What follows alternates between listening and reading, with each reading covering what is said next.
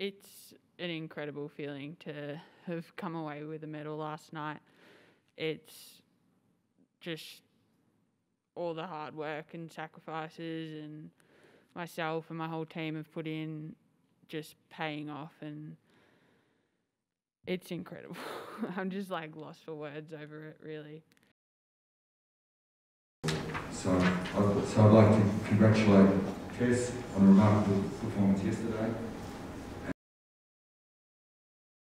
We've had spectacular results for years and years in freestyle skiing, not just at Olympics, at World Cup, at World Championships.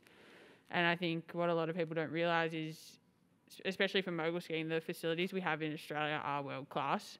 Uh, the mogul course at Perisher that we train on, Topper's Dream, is probably one of the most difficult courses that we ski and train on. And in a non COVID year, we have nearly the whole World Cup tour fly out just to train on that. For the alpine once this is done, I'm definitely going to be chilling out a fair bit with that because it's definitely been pretty crazy the last two years. Like, um, I found last season pretty stressful, like going overseas and stuff. And obviously, people didn't really know heaps about COVID, but like, um, overseas was a lot less safe um, than Australia and stuff like that. But I guess knowing sort of what we know now, and yeah, like once this games is finished, I'll be definitely probably going to the pub for a parmy.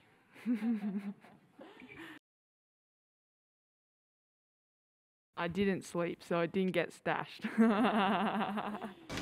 my pocket.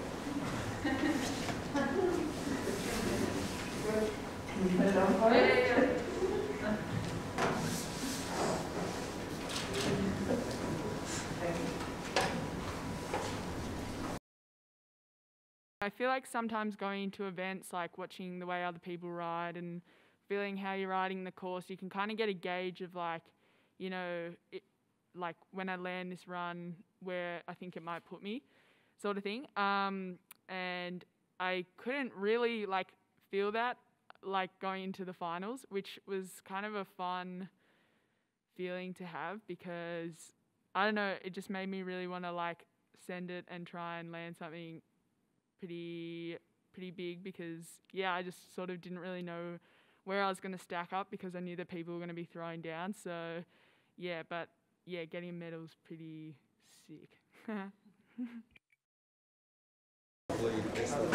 Sorry.